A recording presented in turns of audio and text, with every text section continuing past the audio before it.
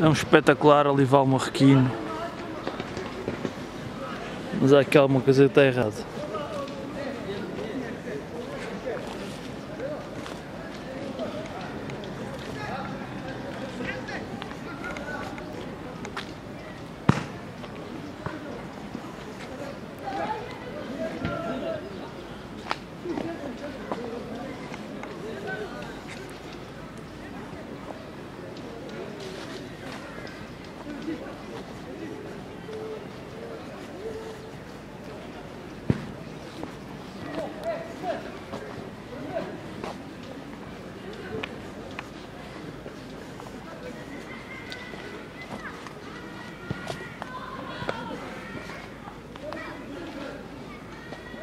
É por estas e por outras que os sacos plásticos têm que ser proibidos.